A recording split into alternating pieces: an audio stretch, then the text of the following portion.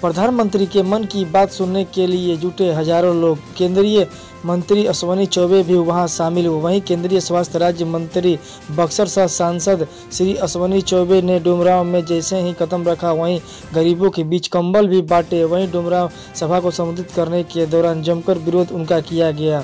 युवा कांग्रेस कार्यकर्ताओं अजय ओझा के नेतृत्व में विरोध प्रदर्शन किया गया। इसी दौरान दलों के कार्यकर्ताओं के बीच हाथापाई और झड़प भी हुई। काला झंडा दिखाकर उनका प्रदर्शन, विरोध प्रदर्शन किया गया।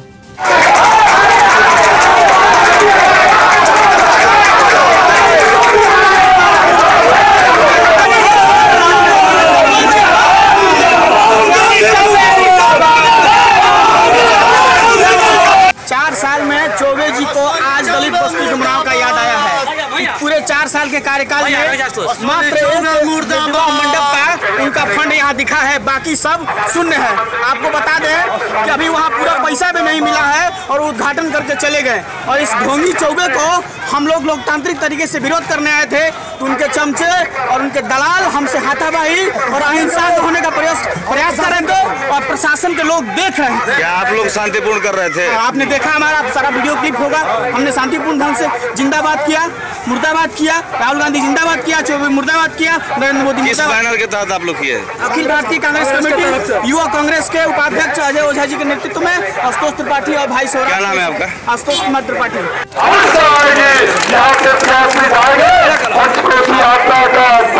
भगवान राम का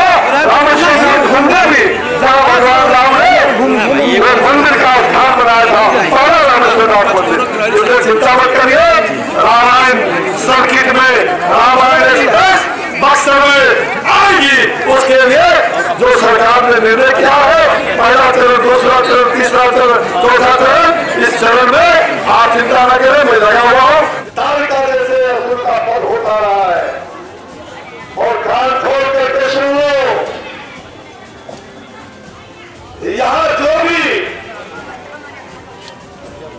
असुर के रूप में गरीबों के विरोधी आज गरीबों के कमल वितरण के लिए हमने कार्यक्रम आयोजित किया था मन की बात के बाद तो कुछ लोगों को राश नहीं आ रहा था। ये गरीब, पूरी कमल होंगे चूँकि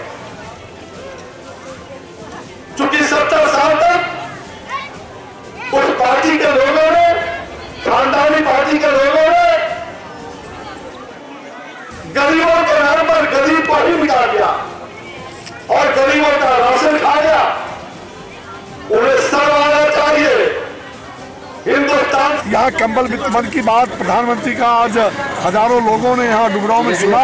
हम लोग मन की बात सुनने के बाद यहाँ जो अपने ऐसे निर्धन लोग हैं, उनके बीच हमने जो जगह जगह से कुछ पंजाब से कुछ भिक्षाटन करके जो कंबल हमने लाया, वो कंबल का वितरण यहाँ आज कितनी कितनी कंबल में वितरण की गई? जितने लोग यहाँ आए सूची बन करके 500 कंबल अभी वितरण किया जा रहा है। और भी अगर कोई सूची बनेगी तो सबको कंबल वितरण जो गरीब लोग हैं जो अनाथ हैं जो विधवा हैं जो बहुत ही गरीब है शोषित दलित हैं ऐसे सभी परिवारों को बहनों को भाइयों को वृद्ध लोगों को कंबल वितरण हो रहा है। सर्किट हमने बनवा दिया है हमारी सरकार ने घोषणा किया है।